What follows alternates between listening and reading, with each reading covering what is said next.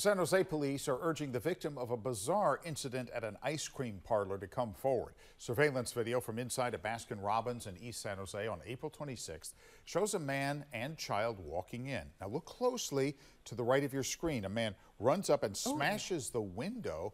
Uh, shards of glass rain down on the child. The man then leans in and shouts something. Now, the incident was never reported, so we don't know how the child is doing.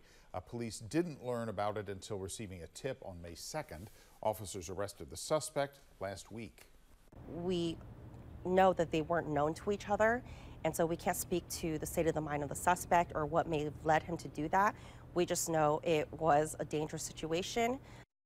Now, the suspect here is 36 year old Paharyam Afsari and is charged with assault with a deadly weapon and child abuse.